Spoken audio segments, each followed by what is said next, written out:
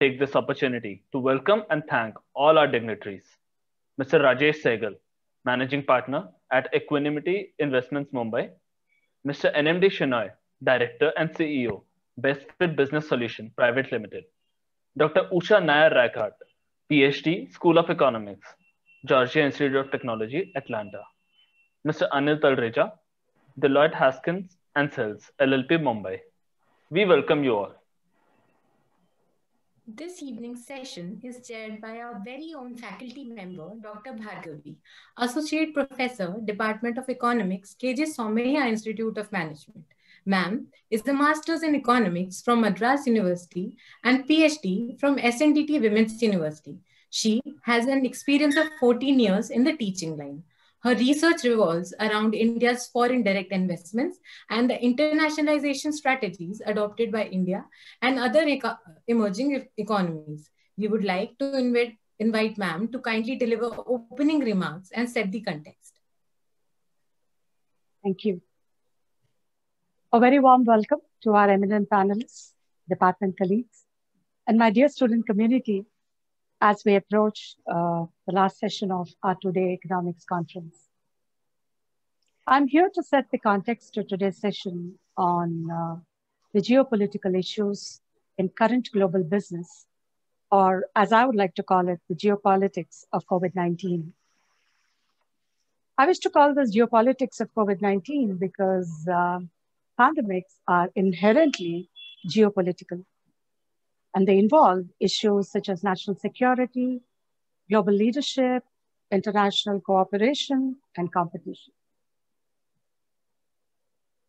While 2020 was the year COVID-19 took the world by storm, 2021 will be when the pandemic's medium to long-term effects on the geopolitical environment will begin to crystallize. We're all aware of how COVID-19 in many countries has exacerbated tensions around economic inequality, access to healthcare, and social justice. Well, I don't have any PPTs as such to share. Uh, I shall be deliberating upon uh, some key eight to nine salient uh, geopolitical uh, trends that have emerged and as we all know, uh, the geopolitical trends is a developing story. So, in sync with the reality, uppermost to one's mind is vaccine nationalism. We all know the across all countries, the vaccination drive is, is very active with over 50 vaccines in various stages of clinical trials.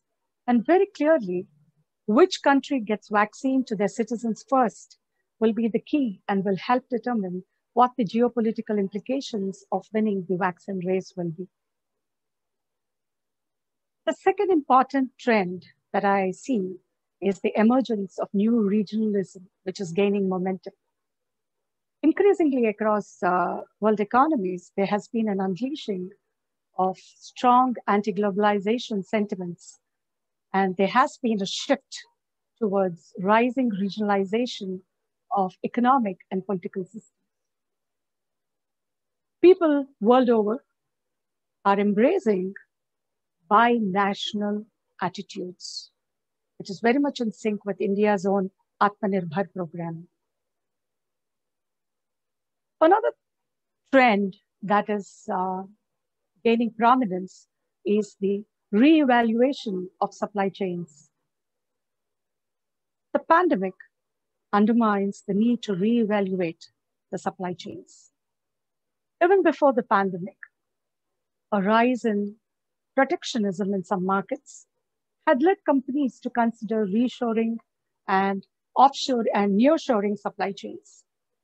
And the government's response to COVID-19 by further restricting cross-border trade exposed companies to the risk of long international supply chains, particularly when the dependency was on a single region or country.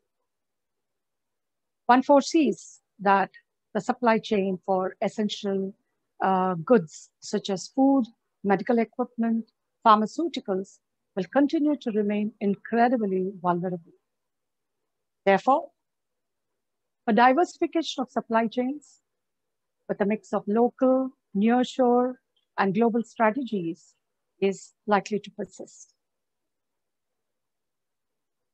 The fourth important trend, how can we miss out the geopolitics of technology and data? Technology has become central to geopolitical, geopolitical competition, a trend that has been accelerated by COVID-19 as more aspects of work and life have moved online. Governments are intervening to build domestic capabilities while also inhibiting foreign competitors' influence or access. We're all aware of uh, the tensions in 2020 when US put pressure on Chinese companies in 5G, semiconductors, AI algorithms, and other strategic technologies. One sees European Union and China taking steps to become more self-sufficient in key digital technologies through their digital sovereignty and dual circulation policies. A clear aftermath of the rapid escalation of social and business activities online has been the creation of an environment extremely vulnerable to disinformation campaigns and cyber attacks. Finally, COVID-19 has ensured that biosecurity becomes a strategic defense and economic interest. It will therefore join the ranks of 5G, AI, and other fourth industrial revolution technologies in accelerating geopolitical technological competition. Another interesting facet is demographics the way aging is catalyzing global rebalancing. The geopolitics of the pandemic has, has accentuated societal, economic, and policy implications of aging. Because at the end of the day, a country's demographic profile helps shape the operational and cost burdens of the outbreak. What do I mean by that? For older societies, the outbreak has meant facing a higher human and economic toll from the disease, as we saw earlier on in countries like Italy, Spain, and perhaps a slower economic recovery. For nations like us, like ours, with young populations, it has meant to encounter higher unemployment, economic dislocations, and larger social upheaval. I think the aftermath, the most critical, glaring, and painful uh, aftermath of uh, trend of social upheaval has been inequality. If you were wealthier, it would be easy for you to implement some physical distancing. Older people susceptible to COVID-19 could isolate themselves better when they had an existing support system and sufficient incomes. We saw in the case of United States how mortality rates were sharper and higher in the case of some ethnic minority communities. Ghastly images of tens of thousands of migrants marching back to their villages is very vivid in the case of India. It went on to show how depend how people dependent on daily wages or the informal sector were far less able to survive the pandemic. Relief packages clearly across the world had to be pushed out through existing social security and welfare channels. Of critical importance in the geopolitical stage is the disentangling of US-China interdependence. US-China inter relationship, we all know, has soured on several fronts throughout 2020. US had expanded export controls, prescribed entity list, explored restriction on Chinese companies accessing US financial markets, sought to ban certain Chinese social media companies, and further restricted Chinese companies in the telecommunications and semiconductors industry. China and US will continue to try to disentangle their strategic interdependence in 2021, with the Biden administration likely to perpetuate many of the policies pursued under Trump. Bilateral tariffs will remain in effect, although one expects the Biden administration to reduce tariffs or increase exclusions if doing so would support US economic growth. What's the case of European Union? Well, in a world of rising geopolitical tensions between global powers, the European Union is seeking to define its place and role. On the foreign policy front, the European Union will seek to define a common and coherent approach to China, which the EU, European Union recognizes as a systemic rival, an economic competitor, while also being a cooperative partner. So reaching an agreement on the European Union China Comprehensive Agreement on Investment will be of topmost priority to create a fair market competition and investor access. To sum it up, the three leading geopolitical powers, US, EU, China, will compete for greater self-reliance, particularly in digital technologies. Great power politics is out there to play in 2021. Coming to climate policy agendas, global CO2 emissions are expected to drop. We had a wonderful paper uh, yesterday evening uh, on, on CO2 emissions. So the global CO2 emissions are expected to drop by 4% to 7% in 2020, uh, owing to the lockdowns and reduction in air travels. Countries such as Brazil and US have pushed environmental degrading policies in recent years, while markets like the European Union and South Korea have uh, enacted plans for carbon neutrality by 2050. China, the world's largest emitter of greenhouse gases, recently pledged, pledged to be carbon neutral by 20, 2060. China's recent carbon neutrality pledge may raise the bar for emerging other emerging markets, most notably India, where uh, carbon neutrality is still nascent. Beijing's moves could also put pressure on Australia and US, the world's second largest emitter, to do more to tackle climate change and improve their competitiveness in green, in green companies or industries. Let's take a look at uh, the emerging market debt. The sustainability of emerging, market, emerging market debt, debt is likely to hit a tipping point in 2021 as more governments seek debt relief or enter default.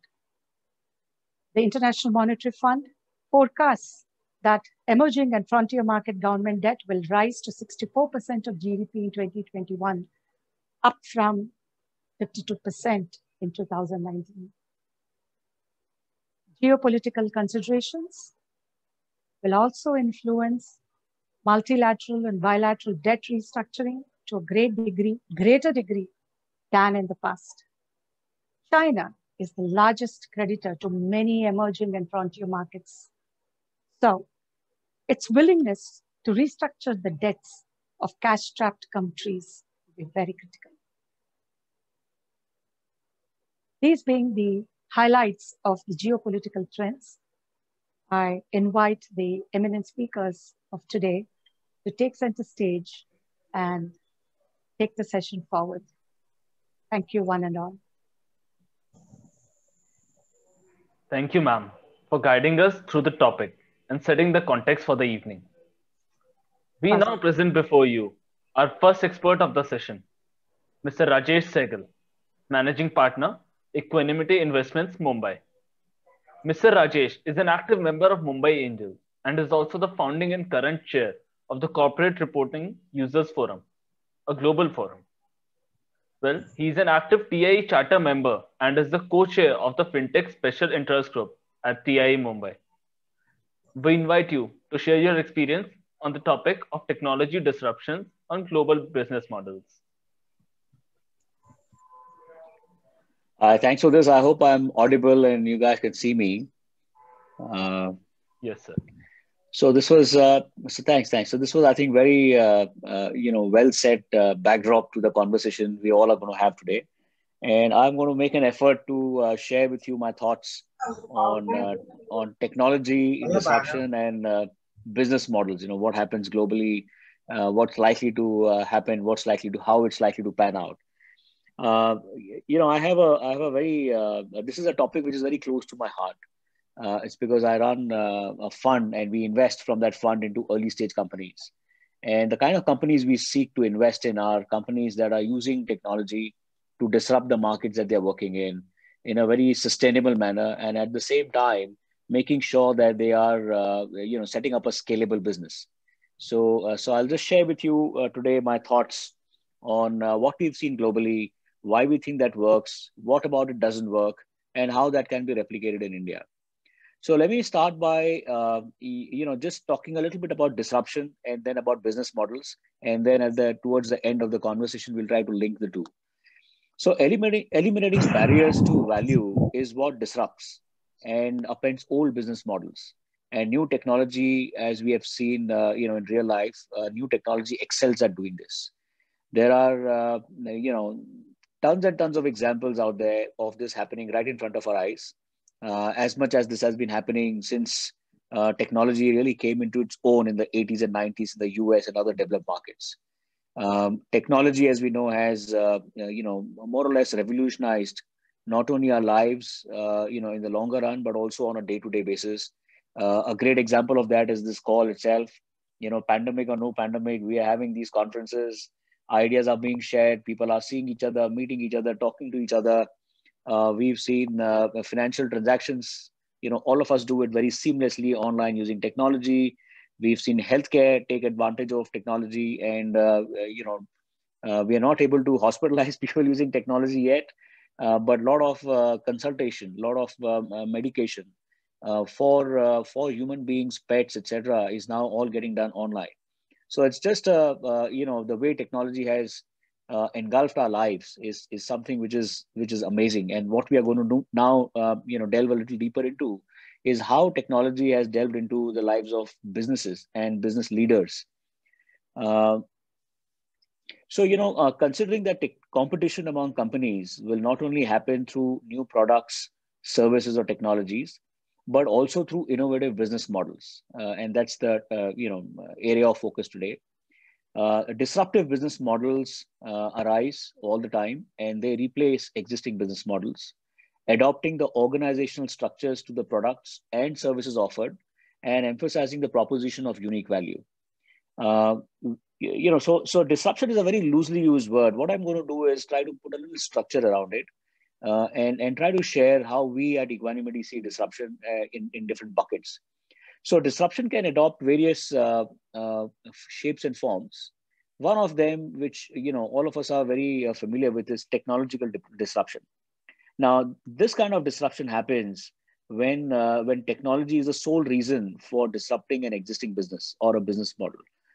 For example, digital watches, right, and cameras. They used electronics technology that was far superior than the mechanized winding up watches that we that we used to have um, I don't know how many of us on this call today uh, even use uh, a watch that needs to be, you know, mechanically wound. Very few of us.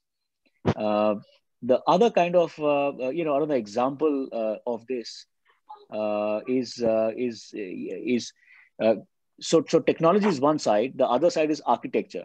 Now, why I distinguish between the two? Actually, there's a very thin line between the two, but I'm going to distinguish them by saying that a lot of business models have been disrupted because of the architecture of the product or the service itself. A great example of this is, uh, you know, was the Sony Walkman. I don't know how many of you are aware of uh, what a Walkman was, uh, you know, because now that itself has been disrupted. So we'll come to that and, and, and see how the cycle of disruption plays itself out. So Sony Walkman was a great example of, uh, of uh, architectural disruption. Because what the Walkman did was it did not invent any new technology. It what it essentially did was it took a whole new architecture and that shrank the existing available music which at that in you know in those years used to be uh, cassettes or uh, or uh, records you know long playing lp records. And it just shrank all of that music and allowed you to carry that music with you. So the whole architecture of how you how you carried music with you or how you consume music completely changed. So this was another kind of disruption which came from not just technology but also an architectural change. Uh, another another way of looking at uh, at, at uh, changes and disruption is uh, the disruption in business models itself. Right, we are all familiar with uh, with Airbnb.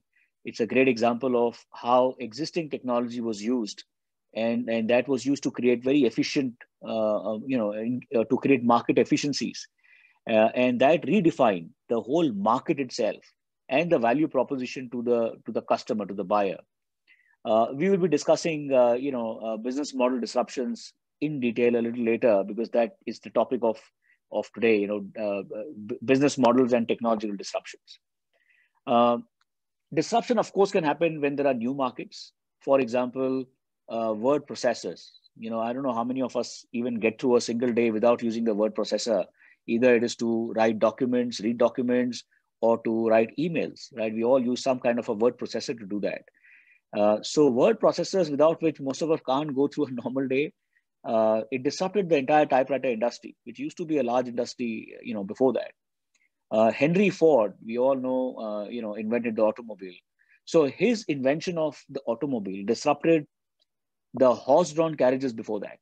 So the way of uh, commuting from place A to place B in those years used to be horse-drawn carriages, and that is you know completely disrupted. Uh, a, a, simple example, uh, uh which you know all of us can relate to, rather than look into history, is the invention uh, of uh, smartphones. Right? When smartphones when smartphones came about, they disrupted a variety of industries. For example, maps. Right? There are no mapping businesses now uh, cameras. Uh, the smartphone, everybody has access to cameras. So it's not only created a place for itself, the smartphone, but it has also forced changes down the camera industry, the mapping industry, watches. I mean, we all have uh, time on the phone, right? And, and a host of other industries were disrupted when the smartphone came into its own a few years back. Uh, now, now these were product and products and services kind of uh, disruption. Another angle and another way to see disruption is uh, is in our view uh, customer experience. We, uh, I presume, all of us have used Amazon one time or the other, and I think uh, Amazon is a great example of how customer experience has caused disruption in so many industries, right? And this list can go on and on and on, and we'll discuss Amazon a little bit later.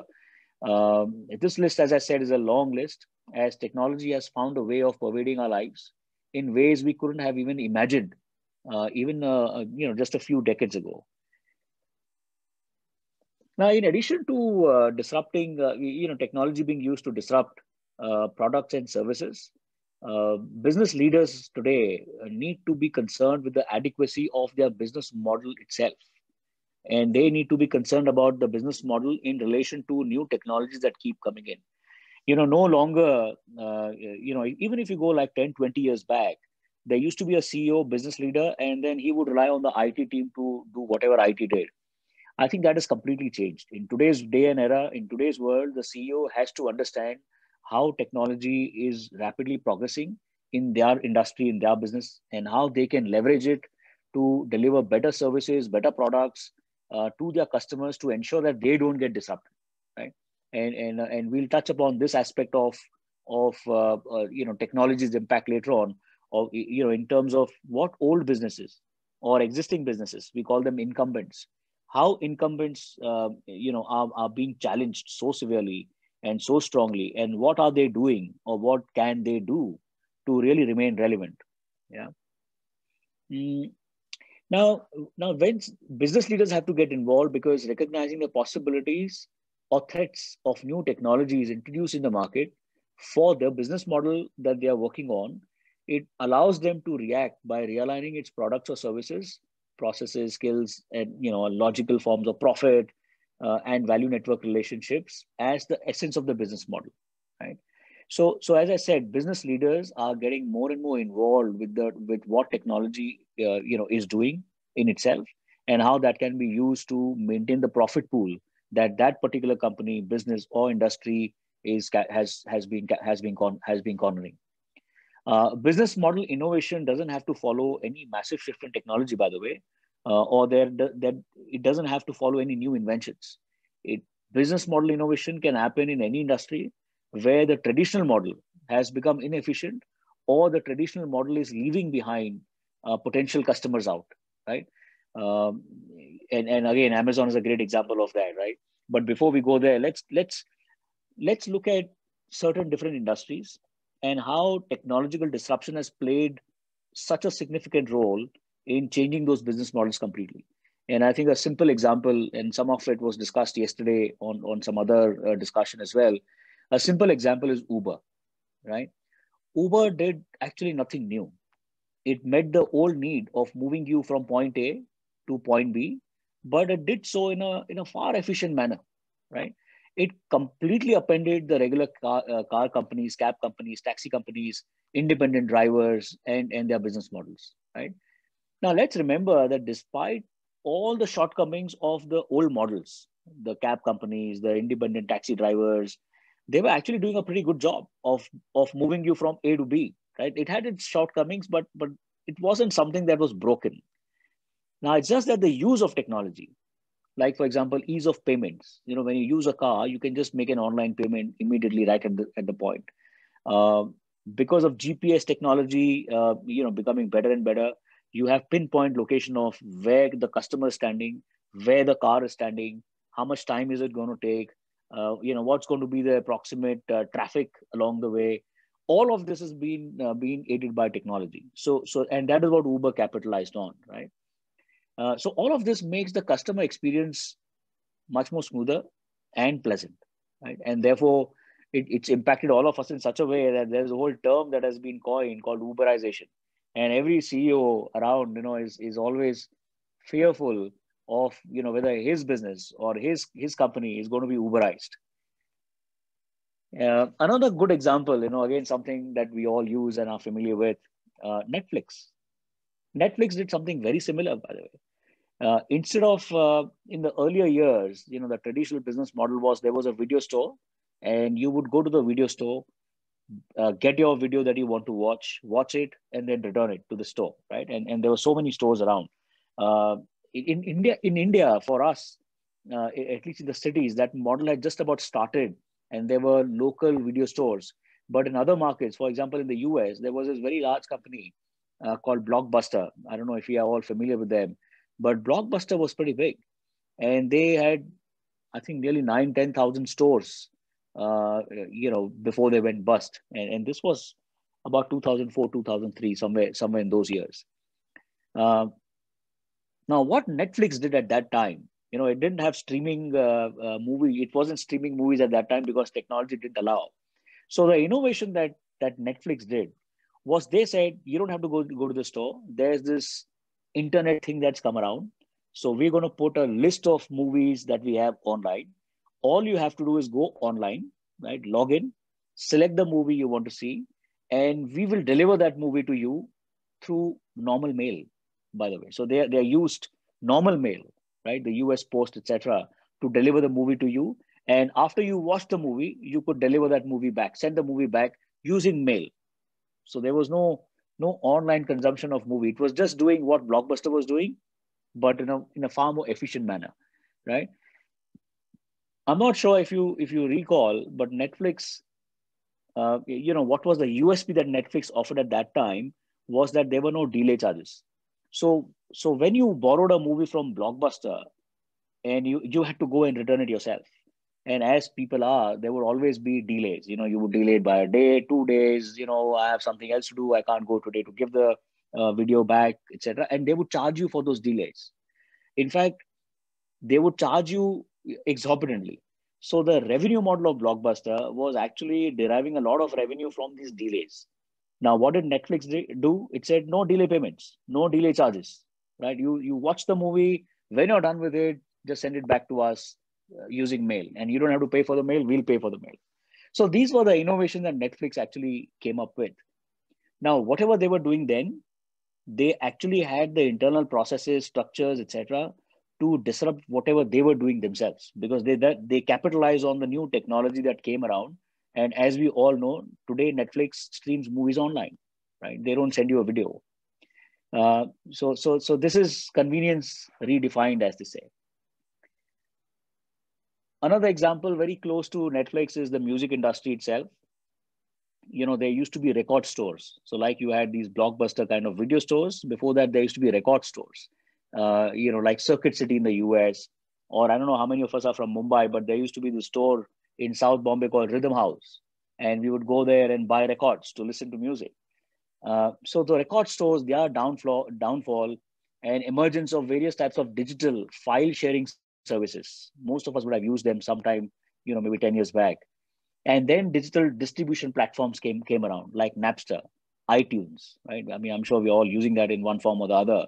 And, and, and that's not all. Even after Napster and iTunes happened, there's now a prevalence of streaming services like Spotify and uh, Pandora. And I'm sure most of us will be customers of these businesses in one form or the other. So the on-demand music streaming industry has had a lot of impact not only on the record stores like Rhythm House, etc., but it has had an impact on retailers. It's changed the business model of musicians, right? The record labels, the producers of music, and it has changed how we, you and I, consume music. So this is a good example of how technology has evolved itself and how business models have evolved along with technology to keep pace with those changes. Um, one more simple example, uh, you know, uh, I'll share with you uh, is Amazon. We all use, as I said earlier, you know, one time or the other, we all used Amazon. Now, the, the Amazon story before Amazon, there was a company in the US called Sears, and they dominated retail for decades, right? Actually, they must have dominated retail in the US for major part of the last century. Uh, and then as Sears grew bigger and bigger, there came a, a new company, a new competitor called uh, Walmart, right? And uh, what did Walmart do different than Sears? So only one thing, they adopted technology, right? They adopted technology and they innovated the supply chain. Now, what happened when they adopted technology and innovated the supply chain? They, you know, they delivered a very good experience, a very different experience to their customers because the whole backend supply chain was so you could you could have more number of SKUs available most of the time, etc., etc., etc. And what happened to Walmart? It gave uh, you know Amazon uh, you know a, a, new place to compete with with Walmart because when Amazon came in, technology had started you know getting getting more evolved. So what did Amazon do? Amazon said, I'm not going to innovate only the supply chain. Let me innovate the entire customer experience, right? Because technology allows me to. For example, uh, you know, again, I presume uh, most of us will be will be customers customers of Amazon Prime. So Amazon Prime came came to the market with the promise of a two day delivery in the US, right? And now they're doing it in India and globally. When they did that, it was it was completely impossible for anyone to have two day deliveries and and make money on it. Now, how do you make money by delivering you maybe a toothpaste within two days, right? and the price point of the tooth- toothpaste being what it is, it's it's it's virtually impossible to make money. But there was this whole belief that Amazon had that as they adopt more and more technology, as they get more and more scale, it will become profitable. And you know, we all seen how Amazon has grown and, and the profits that that it's making, not only in the retail online business, but also in adjacent businesses like cloud services, etc. Uh, and, and I mean, you know, we all know uh, Jeff Bezos. We would have heard of him. We would have seen him, etc he lives by a very simple belief uh, you know which is customers are always beautifully wonderfully dissatisfied and i think that's part of the amazon uh, dna what they essentially do is keep giving you better and better experience and if they do that you keep buying more and more i mean you and i for example over the last few years if we go and look at our amazon purchases you know a year back two years back three years back five years back you will see that you become a larger and larger customer of amazon why? Because they deliver, right? They give you that that customer satisfaction, uh, and that that has appended a lot of uh, business models for a lot of companies across industries. By the way, uh, in in retail, in software, grocery stores, healthcare, finance, Amazon is all across. Uh, anyway, there, there are multiple examples. I can keep going on and on and on. Uh, you know, some the subject is so close to my heart. But but let's say uh, you know, let, let, let's let's just uh, conclude this by saying uh, technology has evolved. Technology will keep evolving. Business models will evolve. And if you, you as a business leader are unable to evolve your business model, your business model will get disrupted because somebody else will come up with a better one. Right? And that, therein lies uh, the challenge. Um, in all these examples, uh, uh, you know, that we discussed, technology removed uh, some existing constraints somewhere and delivered what the customer desired very seamlessly and therefore created value for the customer and value for the company. And this, I think, in a nutshell, is what technological disruption is all about, right? If you're a newcomer in any industry or any business, technology's capability of eliminating constraints is what you are going to play on.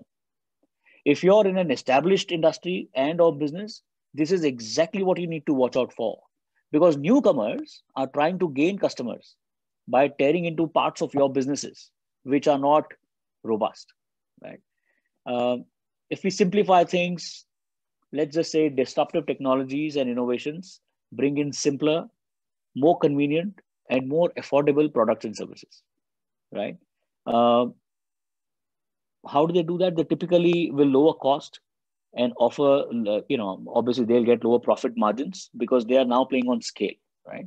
And by doing any one of these or a combination, they are successful in creating new markets, right?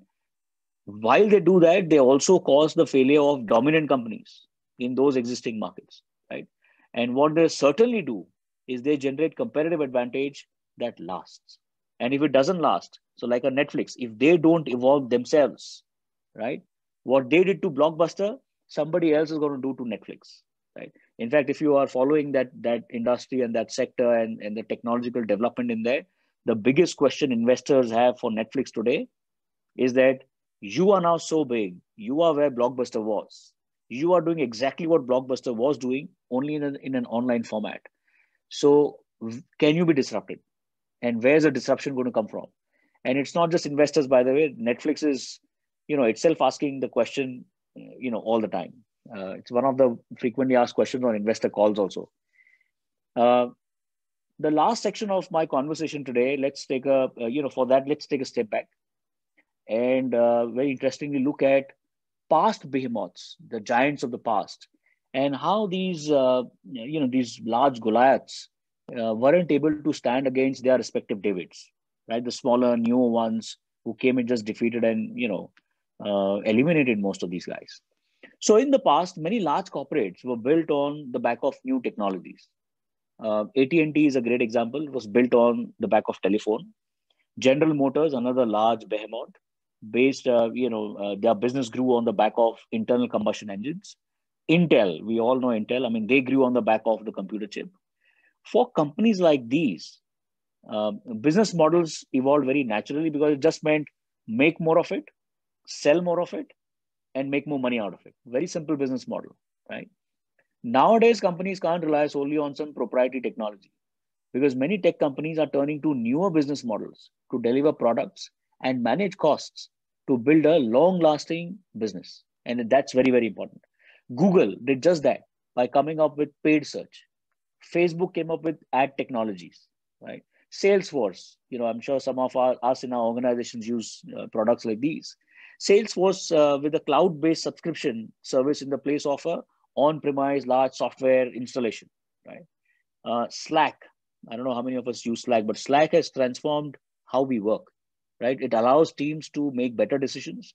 It allows cheaper communication between teams, and of course, it you know gives you lesser stress. Uh, so this begs the question that you know these these large giants why did they not succeed? Why did they not see disruption coming? Why did they not, why were they not able to prevent disruption from happening? Most business leaders are grappling with these uh, quintessential challenges. Uh, what can be better than what we are today? You know, it's a very, it's a very simple question, but such a difficult question for a business leader that I'm doing something I am the market leader. I'm a giant company, huge balance sheet, huge uh, market, everything, you know, great goodwill, nice brand, everything. And I'm profitable. But my job as a CEO now is also to think, okay, how can I dis- destroy this and do something uh, which is better, right? It's a tough thing to do. Uh, So, what can be better than what we are doing today? How can we disrupt ourselves while maintaining the current profitability of the existing business? And even if leaders start asking these questions, which nowadays people have started, leaders have started asking these questions. Uh, and leaders, as they grasp with the risk that they are facing in the markets, uh, large organizations or large parts of these organizations are unable to think on these lines. And when you're unable to see how you can get extinct, there is very little incentive to disrupt what you're what you're doing uh, or what you've been doing for all these years, especially when what you're doing is profitable right? What happens at best in larger organizations, and therein lies the challenge, are small tweaks. What they would do is at best, uh, they will tweak the existing business model, existing product, existing service, and they'll try to better the customer experience, for example, in small steps. And, and, and this is where I would like to call upon Peter Thiel. You know, I don't know if you guys are familiar, but uh, in, in my line of work where we are investing in early stage companies, he's like a demigod he was the co-founder of PayPal, and uh, he was also the first investor in Facebook, by the way. So he he he was the first guy outside of the Facebook team to put money in that company, uh, and of course he made tons and tons of money on that. He invested half a million dollar, half a million dollar, and in seven eight years, he uh, when when Facebook went public, etc., he he sold his stake for uh, more than uh, a billion dollars. So that's the kind of wealth creation happened happened for him. Anyway, so one of his concept that he says, which is very relevant to what we are talking about, is uh, is is this disruption and changes, right? Now he says that when you go from one to you know you're at level one from level one you will go to level two level three level four level five you know level n when you do that you are essentially taking small steps and he calls them horizontal changes so there's nothing major happening True disruption, and this is all according to him, true disruption is when you go from uh, zero to one, right? Which means there was nothing and now there is something. That is true invention. And that is a kind of breakthrough innovation that creates companies like Google, Amazon, Uber, Netflix, you know, that we've discussed. When a new product or service comes into the world that radically changes the way the whole industry uh, industry was working. So I think uh, you know, I mean, I can go on and on and on, but in the interest of time, I think let me let me stop here, and uh, I will address these points, and I have you know a few more in the Q and A session as as we come there. So thanks a lot. Let me hand it back to the to the coordinator. Thank you, sir, for enlightening us this evening with so many relatable examples. Now we have with us Mr. NMD Shenoy, Director and CEO, Bestfit Business Solutions Private Limited. Mr. Shenoy is a seasoned banking and information security professional with more than 30 years of experience in the entire banking and financial services and insurance segment. We would request Sir to share his views on cyber risk post COVID 19 with all of us.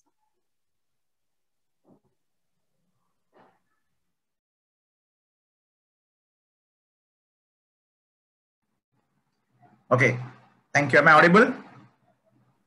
Yes, sir. Okay. Okay, thanks. So in the next 15 minutes, uh, we'll talk about uh, cyber risks and IT security.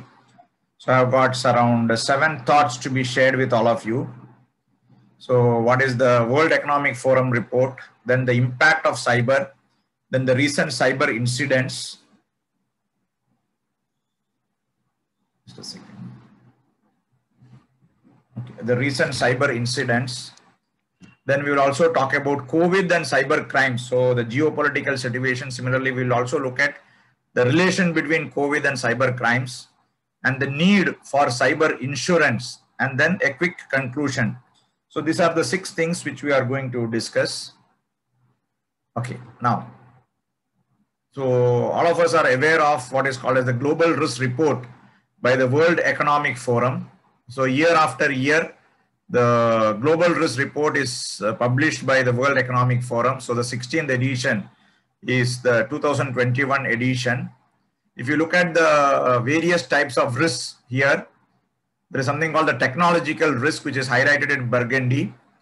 So still now in the last three to four years, if you look at it, cyber security is one of the top concerns across the globe as well as there are various types of technological risk is concerned. So there are two types of technological risk which is highlighted. in the 2021 report. One is the cyber security failure and second is the digital inequality. Then we have got, obviously because of COVID, you have got infectious diseases and related to the infectious diseases, you have got the livelihood crisis and then the extreme weather, weather events. One is natural and one is the sickness related one. So this has got a societal influence, this is an environmental influence, and finally the technological influence. So cyber risk is still the top of the mind recall. So whenever we are talking about disruptions, the moment you talk about technological disruption, the concern is also the technological risk which is being brought along with your uh, disruption risk. So whenever we talk of uh, cyber risk, we talk about confidentiality, integrity, availability and reputation. Now, if you look at uh, a part of how the, what is the impact of cyber on the entire uh, business and economics. So if you look at it, a trillion dollars have been lost to cyber crime every year. This is a report by McAfee and Center for Strategic and International Studies. As far as cyber crimes in India is concerned, we had 1.25 trillion loss last year alone. And if you look at the, the various types of uh, incidents, the cyber incidents which keep happening, and this is a recent report which was there in the Rajya Sabha. So in the year 2020 alone, we had 2.90 lakh cyber security incidents, which is approximately 795 incidents per day. So on one side, you have got uh, disruption, you have got new things happening. At the same time, we also need to be bothered about the type of cyber incidents that is happening in this country as well as globally. So if you look at the cyber attack statistics, very interesting statistics published by SonicWall in their 2019 trends. So you can see that there are top six items. One is a ransomware attack, one is a malware attack, one is the intrusion attempts, one is IoT malware, encrypted threats, and your web app attacks. You may be seeing that the ransomware attacks have come down by 9% between 18 and 19. But you should not be complacent. Whenever we look at any statistics, we not only look at the percentage part of it, we also need to look at the absolute values. So if you look at the absolute values of ransomware attack is 187.9 million and 4 trillion is the intrusion attempts. So these are some of the things. So web app attacks, encrypted, IoT, intrusion, malware, ransomware attack itself can also bring business to a grinding halt. And if you look at the cyber attack statistics for 2020, 32% the malicious threat actor is phishing and social engineering. So day in and day out, we know that one of the biggest challenges is phishing and social engineering. The second is your compromised credential, which is 19%.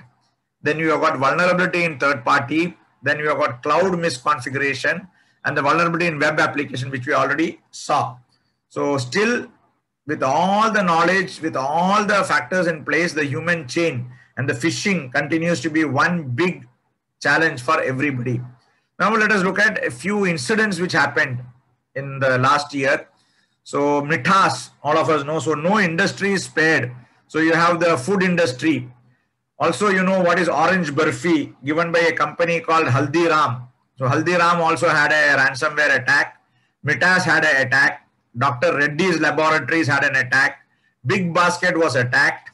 And there was one more payment uh, aggregator, which is uh, your Juspay or Juspay data leak, which also has set RBI thinking. And all of us know what is the FireEye attack, which happened recently. FireEye itself is a cyber security company. So can think of a situation where a company like FireEye, which is in the domain of cyber security, itself gets hacked and a lot of their tools have been removed. Similarly, now we look at one of the most popular incident which happened in 2020 was the Cognizant. So Cognizant was attacked by a ransomware called Maze Ransom. And it not only affected Cognizant, it also affected all the companies which were, most of the companies which were serviced by Cognizant. So that was uh, one of the reasons. So attack had infiltrated, exfiltrated the critical customer data and encrypted the services. So the services comes to a grinding halt. So with the technology advancement as we see disruption in technology, their business also can come to a grinding halt with a simple ransomware attack. So there is a lot of things from a global perspective as far as uh, cyber incidents are concerned. And a lot of files were stolen as an extortion tactic for threatening public release of the data. So there were two things as far as ransomware is concerned when I'll talk about in the next few slides. And sensitive personal data, SSN, tax ID, financial uh, information, driver's license and passport details were stolen of the customer. So you can just imagine the complexity of it. So if you look at the phase of ransomware, the ransomware phase has also changed in COVID times. In uh, the few years before to 2020, whenever there was a ransom attack, the ransom attack was to have your availability, your hard disk was encrypted or your server uh, disk space was encrypted. As a result, data was not available. You pay the ransom. That is it. And your data is released. That is one way of looking at it. In the last year, the phase of ransomware has changed is that they steal the data and then they tell if you don't pay the ransom, your data will be leaked to the public. So the ransomware phase itself has changed. And now with uh, COVID and things like that, whatever we call it as attack surface. In earlier days, when we had intranet based systems, our attack surface was limited. Slowly, we moved on to what is called as intra internet applications. The attack surface for the hacker increased exponentially. Now, with COVID, people started working from home. So, again, there was another exponential growth in the attack surface that is what they call it as boundless points of exposure. This is one of the biggest challenges why the cyber crimes have grown exponentially is the effect of the pandemic where people started from working from home. Now, which all sectors were affected by COVID? That is very interesting. So if you look at the sectors which is affected by COVID as per the McAfee report, you see education, tuition, collaboration tools. All of you would have also heard about uh, Zoom bombing. Okay, even the Zoom which we are using now was attacked. There was something called Zoom bombing. So education, false CV19, financing, insurance, loans, false sanitizers, PPE, blood cures. So healthcare was also badly mauled up because of COVID. And if you look at the phishing incidents, which I told earlier, the, in March alone, there was an 100, 500% increase in COVID related spam mails in March. So whenever you have a mail coming, typically what we call technically as a payload. So every mail will have a malware as a payload. So we had payloads like Ursnif, COVID-19, TrickBot, Emotet, AZORult, Remcos RAT, Hancitor, NanoCore RAT, Netwalker, etc. So whenever you receive a mail telling COVID-19, people go and click it. What is it? Why do people click it? So I always give this example of capital market. So in capital market, if the stock market is going up or going down, it is only because of two sentiments. Hope all of you know which are the two sentiments. Anybody, any thoughts on what are the two sentiments which drive the stock market? Anybody? What are the two sentiments which drive the stock market? Shania? Greed Yes. and fear. Greed and fear. Yes. Yeah. Yes, greed and fear. If you look at cyber security also, it is the same sentiments which is running the uh, cyber security hackers also. Why do people click on COVID? Any email related to COVID, they are so fearsome.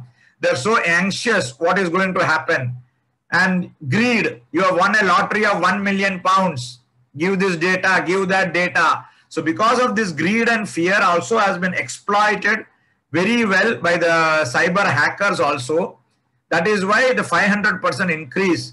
And if you look at the latest uh, cyber uh, threat which is happening is the corona vaccination registration. Please register for corona vaccination. Your time is reduced. Please share your Aadhaar number. Then you share the Aadhaar number. Then you get an OTP. So the latest scam on COVID is your COVID vaccine. So I would suggest all of you not to pray become a prey to all these uh, gimmicks of the cyber scamsters because of greed and fear. So, eight corona vaccination that want to steal money as well as personal information, which is the current one. So COVID has brought an up result mainly because of fear and greed. So if you look at this very interesting part, the fake news is a bigger killer than the virus itself. You will be surprised to know that the social media brought in lot of fake news regarding corona and you just look at this article. 600 people in iran died not because of coronavirus. There was a social media news that drinking neat alcohol will cure you of coronavirus and people started drinking corona uh, the neat alcohol and 600 people alone died in iran. In bolivia you will see people buying fake and toxic coronavirus cure so one of the biggest things which happened during the COVID is this fake news. Then the next thought which I want to share with all of you is what is called as cyber insurance. So with the economy moving globally, the next big thing which is going to happen in the market is every organization, just like taking insurance for general insurance for the known perils like flood, earthquake, etc. Every technology company will have to take what is called as cyber insurance. Now, if you are taking cyber insurance, I have given some companies like Bajaj, HDFC, Tata, and Universal. They are the Indian companies. But just be aware by taking an insurance, you cannot be protected. All of us would believe or would have experienced that insurance is a losing game. How many of you agree? How many of you disagree? Whichever way you look at it, it is like the Sholay coin to most of us, insurance taking is like the Sholay coin. I don't know whether the new generation knows what is a Sholay coin. What is a Sholay coin? The new generation. Anybody wants to share their thoughts? Losing on both ends, sir. no, no. What is the specialty of the Sholay coin? Whatever you choose, you lose. That that. No, the both the sides of the coin have only heads. There is no tail. Please go and watch the movie. Okay, so if you go and toss a coin, so insurance is always a losing game for many people. Okay, it is not a losing game. Most of the cyber risk can be transferred through liability insurance. Understanding the clauses is important. And what I call it in insurance sector, there is something called a moral hazard. So do you know what is a moral hazard? You buy a car and you go and uh, park your car under a tree which is about to fall. Why do you park? Why do you park a car under a tree which is about to fall? Any thoughts? Because it is insured. Because it is insured, right? Because it is insured. मरने दो गाड़ी के ऊपर tree गिरेगा तो भी मुझे insurance मिलेगा so that is what is called as a moral hazard even in insurance it can also introduce what is called a moral hazard because you think okay i will not put this control i will not put that control. To get your right cyber insure necessary controls are equally important at organization level. So even cyber insurance carries what is called as a moral hazard and this is also a big business. So when you look at uh, the international business cyber insurance is going to be the future. And finally i would like to conclude with a quotation from the mahabharata i don't know how many of you know what is called as yaksha prashna there is a very important part in mahabharata which is called Yaksha Prasna, where there is a dialogue between a Yaksha who comes in the form of a stork and Yudhishthira. So many of us would be knowing this story. I will not go into that story. So in the Yaksha Prasna, there are around 42, 43 questions which is asked by the Yaksha to Yudhishthira. So one of the questions was asked in this was, what is wonder? किम आश्चर्यम? So Yudhishthira answers what is wonder day after and day after day अहनि अहनि भूतानि गच्छन्ति यमालयम् शेषाः स्थावरम् इच्छन्ति किम् आश्चर्यम् अतःपरम् so day in and day out you see people going to the house of Yama but the remaining people think that they are going to be they are immortal and then they are going to live forever so when i talk to my cisos and cyber security professionals i change that statement to telling it day in and day out, you see cyber attacks happen left, right, and center. Yet the management or the board thinks that we are not going to be attacked. Oh Lord, what can be a bigger wonder than this? So cyber attack is a reality. You do not know when you are going to get attacked. The I would also like to quote one proverb which all organizations have to be very aware of. We do not know when the greatness lies not in never falling, but rising every time you fall. So organizations should be prepared for a cyber attack. How fast you respond, how quickly you respond to the cyber attack is more important because despite putting n number of n controls, every day new vulnerabilities come in like zero day attacks, new techniques, new ransomware. So it is next to impossible to control a cyber attack. All that you need is how resilient you are and how do you come out of a cyber attack. That is why the regulators across the globe have given certain guidelines telling you should have a cyber security policy, you should have a cyber crisis management plan, which is applicable not only to private enterprises, but also to governments as well. So you should have, the summary is that we need to have a robust cyber crisis management plan, be it in whichever industry you are working. With these few thoughts, I would like to thank and take any questions for the next two minutes. Sure, sir. We have a Q&A round in the end. And okay, fine. In the end. to have some questions. Okay, fine. No problem. Okay, I'm on time. Thank you once again, Asha and your team for inviting me for this. Thank you. Thank you, sir. As mentioned by Mr. Shenoy, greed and fear has no doubt been the root of cyber attacks. Thank you, sir. That was a very informative discussion, giving us an overall idea about the cyber risk post COVID 19. Also, giving us some tips on how to be prepared for the same. With this, we move on to yet another promising session by Dr. Usha Nair Reichert. She is a PhD economics from Krannert Graduate School of Management, Purdue University. Her research revolves around firm strategies related to innovation, globalization of R&D, trade, foreign direct investments, technology licensing and acquisition, and environmental regulations, and their impact on firm strategy. We request ma'am to share her views with us on the topic, competition and firm, level innovation in developing economies, along with her co-authors, Mr. Thomas Brodzicki, Dorota Ciołek, Jakub Michael Kwiatkowski, all from University of Gdańsk in Poland. Um, just give me one minute, please. I'm trying to get my um, video here. I'm having a little bit of problem. Sure,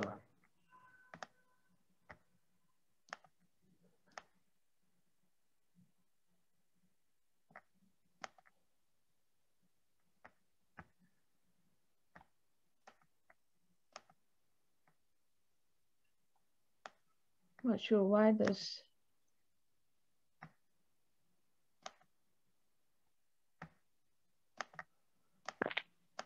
Just give me one sec.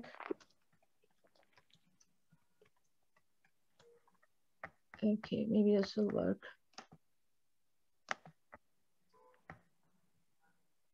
Um,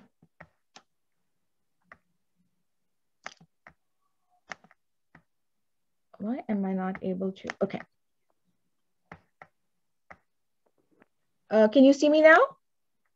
Yes, ma'am. Okay, that's good. I'm sorry. It's, it was not clear to me why I was not able to get the video on, but um, let me just share my screen with you.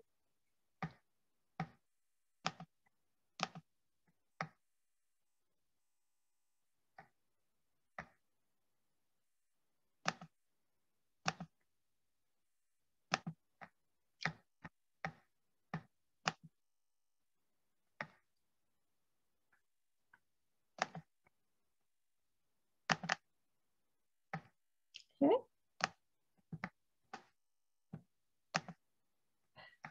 Um, good morning, and um, I want to thank um, Dr. Asha Prasuna and um, her colleagues for inviting me to this um, conference. Um, I'm very delighted to be here. Um, and I want to thank everybody for, uh, you know, it's early morning for me. So it's easy for me to get up and, uh, you know, uh, get ready for the presentation, but I realize that it's very late uh, in Bombay. And uh, so thank you all for, uh, you know, uh, having this late session so we can uh, also join in. it has been really a pleasure to work with um, Dr. Asha and the rest of our colleagues. Um, I've been there a couple of times and it's really been a pleasure. So today what I want to talk about is um, competition and firm level innovation in developing countries. So um, by training, I you know received my PhD from Purdue University in Indiana, and uh, my training is as a trade economist. Um, but of course, you know, coming from India, I was always interested in economic development and um, innovation. You know, uh, is uh, very important for economic development and uh, my trade and innovation and development interests kind of got linked together. And so I, you know, moved. Um, so I find that, you know, um, there's a lot of overlap in those areas and my research has uh, moved in that direction. So part of this research um, was motivated by um, my collaboration with the University of Gdansk in Poland and um, I want to thank the Polish Science Foundation for uh, providing us with funding uh, to investigate the intensity of uh, competitive rivalry and innovation, innovative behavior of enterprises. That is a Polish grant which allowed us to start this big project. So we started with our um, work in Poland, which is ongoing, and um, now we are moving to uh, work in India and other developing countries. So what I'm going to do is I'm going to talk a little bit about um, India and uh, innovation. We have a lot to be proud of. Uh, and then I'm going to um, talk a little bit about why the results of the research from developed countries may not be exactly applicable to developing countries. And then I'm going to talk a little bit about my uh, Polish project and the results we have from it and uh, you know, what we plan to do with our uh, project um, relating to India. Okay. So um, just put this away. Yes. Um, so, you know, India has emerged as a regional leader in innovation so if you look at the 2019 Global Innovation Index, it identifies India as one of the top five innovation economies in Central and Southern Asia. And uh, to quote the World Intellectual Property Organization Director, uh, General Francis Gurry, um, the Global Innovation Index shows us that countries that prioritize innovation in their policies have seen significant increases in their rankings the rise in the Global Innovation Index by economic powerhouses like China and India have trans transformed the geography of innovation, and this reflects the deliberate policy action to promote innovation. So what um, our project and our thinking as a whole on this has been that, um, you know, there is a lot of heterogeneity across countries. Um, and so we need to think about what innovation policy should be, uh, you know, what should we take into consideration as we formulate innovation policy, um, especially in developing countries. A lot of the research is on developed countries, and so um, we can't, you know, just translate that. Oh, let me start. Let me, I haven't started the slideshow. Sorry about that. So India, this is the overall ranking of India in the seven uh, global innovation index areas. So India, the, you know, the highest possible ranking for each of these pillars is one. So India has done very well on knowledge and technology outputs. Um, it's done very well on market sophistication uh, and it's ranked 52nd in the Global Innovation Index, 2019 Innovation Index. Its rank has steadily been increasing over the years. Uh, and you'll see where we have challenges is in the area of infrastructure.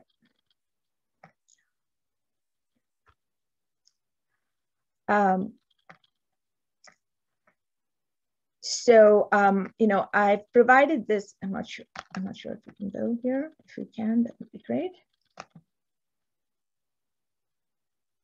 So if we look at the um, globe, uh, the global leaders in innovation, um, let me see if we can make this smaller. So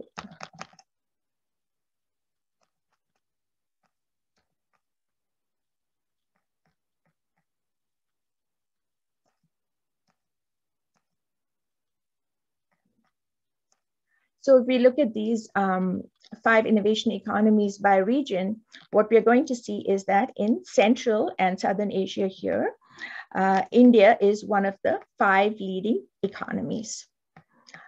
Um, and that in, uh, you know, the lower middle income uh, countries, India is one among the top five innovators. And then if you look at the, um, you know, um, the WIPO um, says that a healthy global innovation ecosystem draws from everywhere. And so it looks at the different dimensions of the Global Innovation Index, um, it, you know, um, the ones we saw in the graph. And uh, what we see here is that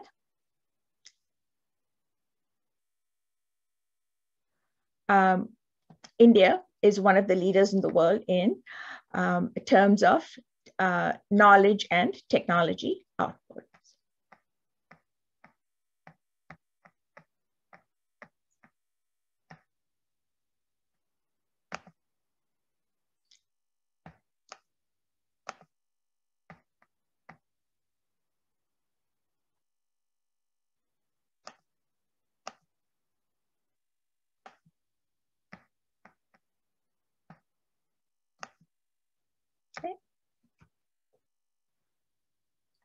So what is the Global uh, Innovation Index? Uh, it ranks um, economies based on 80 indicators. So there are traditional research measures like R&D investments and patents, but also new indicators such as mobile app, mobile phone app creation and high-tech exports. So it also looks at the economic context, and one is the pressures from trade disruption and protectionism, which, as you know, has um, you know uh, increased tremendously over the last for four years or so. Um, and so um, WIPO suggests that sound government planning for innovation is critical for success. And of course, um, you know, um, we have had to face the challenges of COVID-19. It has far-reaching consequences um, you know, long-term, even long-term consequences for the global economy and innovation. But at the same time, it has been a strong driver of creativity and innovation at several levels. Um, there is, you know, the creativity and innovation in the fight against COVID itself, um, and the dramatically shortened timeline to bring um, COVID-19 vaccines to the market, that's unprecedented. And, uh, you know, uh, they've been there's been um, people have been uh, you know stuck at home.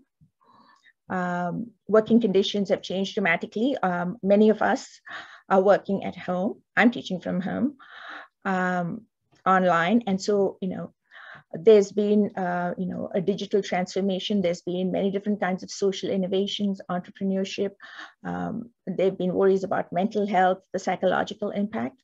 So um, you know, this is an opportunity to take the lessons that we've learned from uh, our COVID experience and how we had to adjust uh, in a dramatically short period of time. How can we take these lessons uh, learned to strengthen innovation? Those are some of the questions that we can ask ourselves.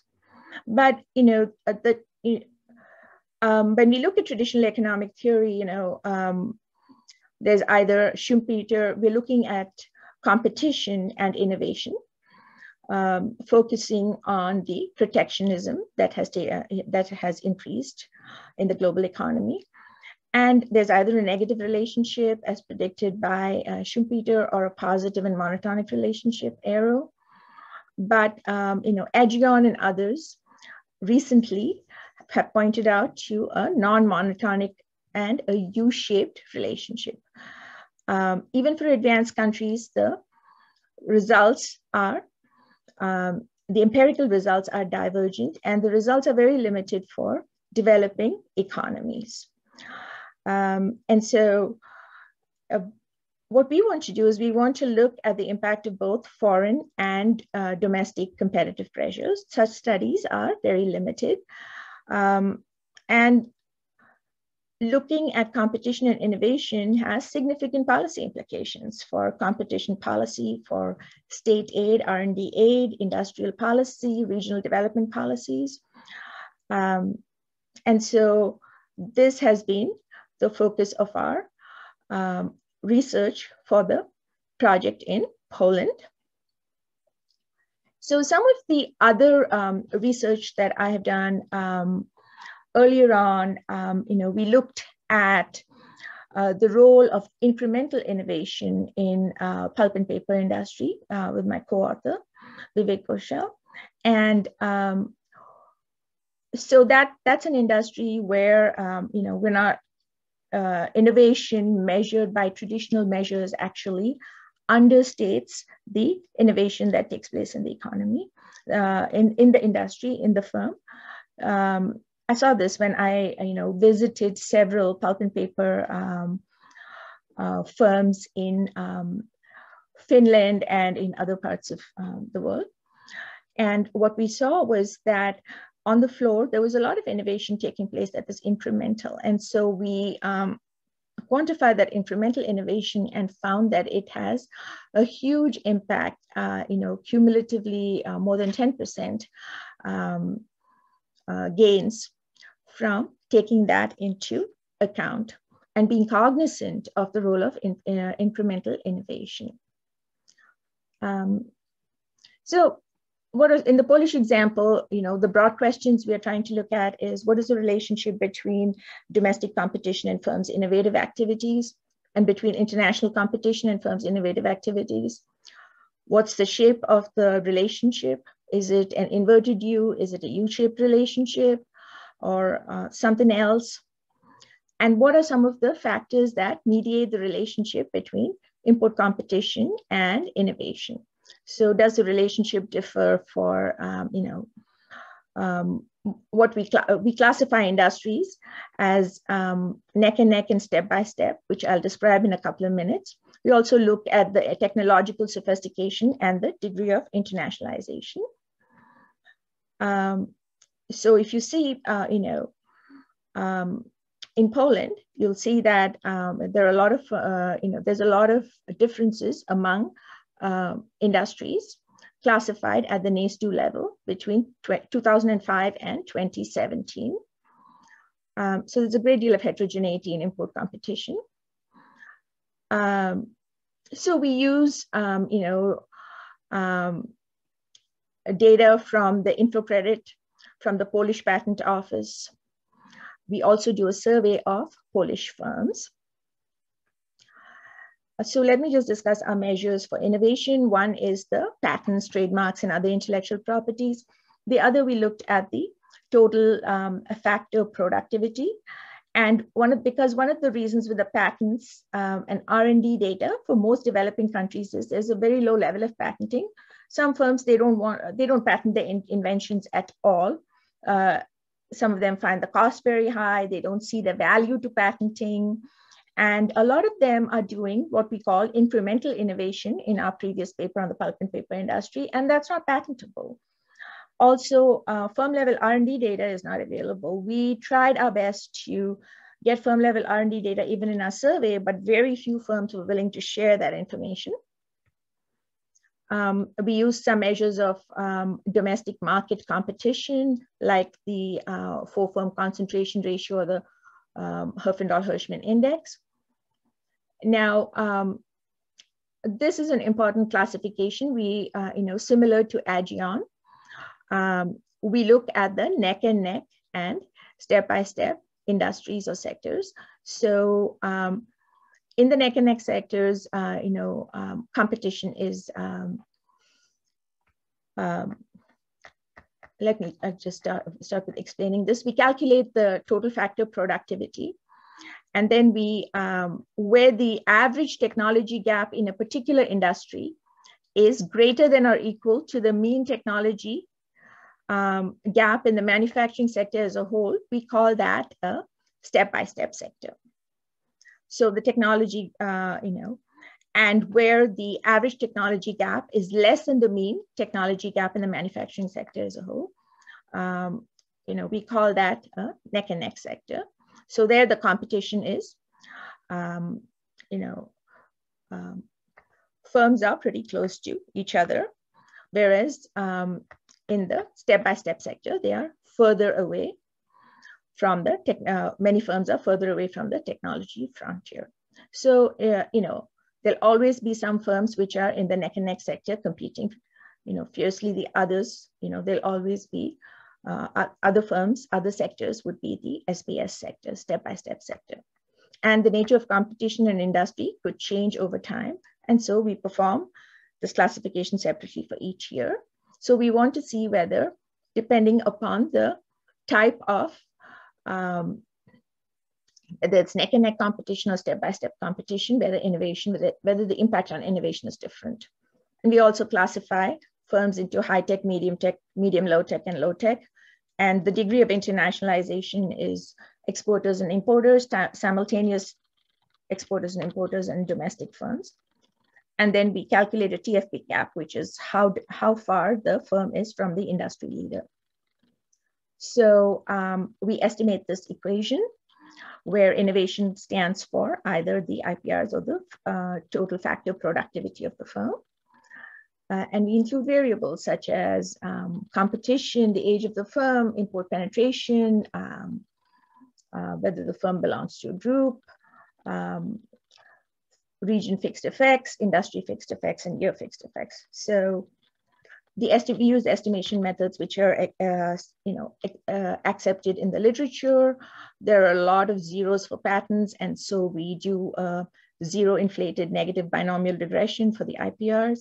And for the total factor productivity um, equation, we use the least squared dummy variables. So um, I'm just going to go through the main results quickly. What we find is that our base IPR uh, model cannot confirm the existence of a nonlinear inverted U relationship between innovation and domestic competition. So right off the bat, our results are not consistent with the results from Aghion, which is uh, you know very famous paper in this area uh, for developed economies. Um, so um, import penetration has a positive and significant coefficient. So import, uh, so, and it indicates that Polish firms in the SBS sector, step-by-step sector, they are who are facing import competition, they increase their innovative activities. Um, but in comparison to the neck and neck sector, the SBS sector firms have a lower innovation efficiency. Um, you know, they've been um, there's been another paper that has shown that NA uh, uh, neck and neck firms are more efficient innovators. Um, but as compared to uh, NAN industries, as the intensity of import competition in the SBS industries increases, the firms in the SBS industries are innovating more. And this result is holding both for IPR and TFP models. So we see right off the bat that there is heterogeneity between um, industries and SBS industries. And as compared to the low tech category, being in the high tech and medium tech categories are uh, increased innovation by Polish firms. Um, but greater import competition reduces the innovative activities of firms in high and medium tech categories as compared to the low tech industries. And we also find older Polish firms innovate less and that larger firms innovate more than their smaller counterparts. So what we see here is that there is a lot of heterogeneity along various dimensions. Age, um, size of the firm, um, the technology categories, whether, um, whether they belong to the neck and neck sector or the step-by-step sector. When we look at TFP as a dependent variable, we see that um, um, the overall impact of the increased foreign competition on innovativeness is negative. And there now there is some evidence in the import competition um, to show that there's a nonlinear nu-shaped relationship. So at higher levels of import competition, manufacturing firms in Poland innovate more. Excuse me, I want a drink of water.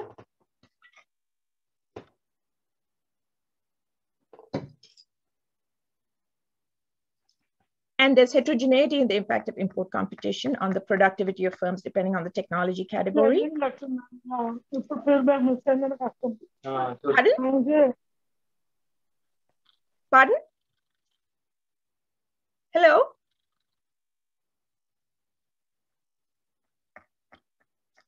And the medium sector in Poland. So there's a reason for this. Um, compared to low tech firms, high and medium tech firms innovate more in response to increased um, import competition while medium tech firms innovate less. This could be because they receive more foreign direct investment and so they have less uh, competitive pressure. Um, and um, import competition has a negative and significant impact on innovation for firms in all of the four internationalization categories, exporters, importers, simultaneous exporters and importers and purely domestic firms. Um, and the magnitude and the magnitude of impact is highest for firms that are only either exporters or importers. And of course, these results could be because of some unique characteristics of the Polish economy, lower quality of comp and composition of Polish exports, um, you know, lower value of exports and less number of trading partners, uh, limits on their ability to respond to the adverse effects of import competition on their innovative abilities, because firms may not perceive the potential return from innovation to be high. And certain sectors have higher level of FDI as compared to other sectors. So what are the conclusions? There are important implications for innovation and competition policy in Poland and other developing countries. So based on the experience, so results based on the experiences of developed countries may not readily be applicable when examining the relationship between innovation and domestic competition in developing countries. So it's important to consider the heterogeneous impacts of competition on innovation activities on different categories of firms as we design policy. And uh, now this is a work in progress where we are moving on to looking at um, Indian firms and also looking at uh, the role of state aid um, and foreign direct investment on innovation in both Poland and in India. With that, I'm going to stop sharing the screen. And, um, um, you know, you said there are questions at the end, right? So um, thank you very much.